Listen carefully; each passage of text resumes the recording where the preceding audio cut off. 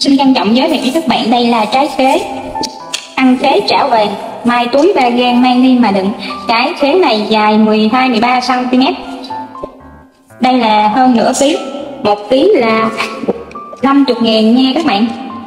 Ba trái này mình mua với giá là 35k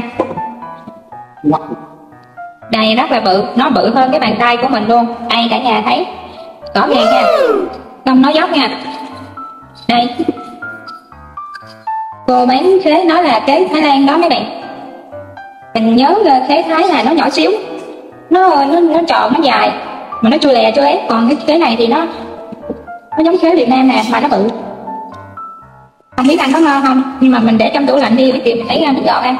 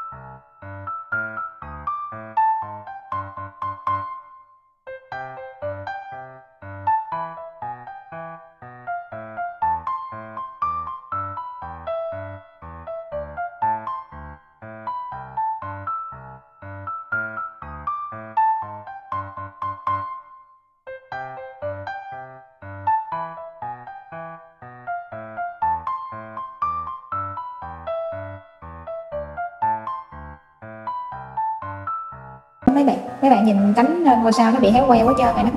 Tới bữa nay mình mới nhớ mình đem ra mình ăn nè. Rồi xong ba trái đầu tiên đó là bình sinh của ờ, ông thần tài thôi theo cảm nhận của mình đó nghe, thì khế thái lan này nó có nhiều nước lắm đó mấy bạn.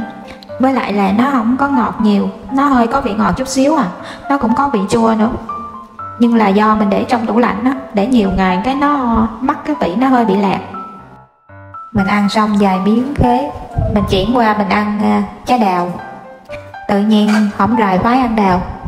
Mà ăn cầm nguyên trái cắn nó rột rột ngon. Đào thì cũng có nhiều nước ăn ngọt ngọt chua chua.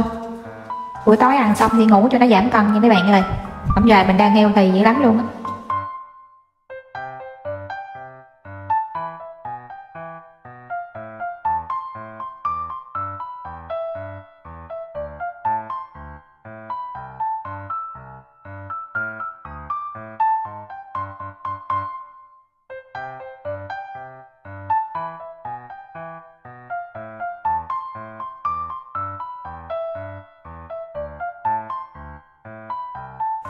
Tự nhiên nãy giờ nói mình heo thì mà giờ khoe với cả nhà là hôm nay em làm thêm mẻ canh chuối nữa.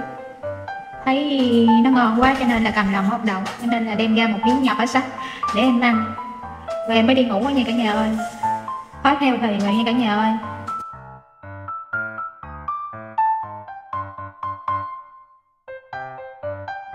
Cả nhà đừng có ăn heo thì giống như mình nha cả nhà. Phải thật sự cố gắng lên, phải nguyên tắc. Đừng có thấy cái gì ngọt ngọt, ngon ngon thì ăn cố lên cả nhà ơi.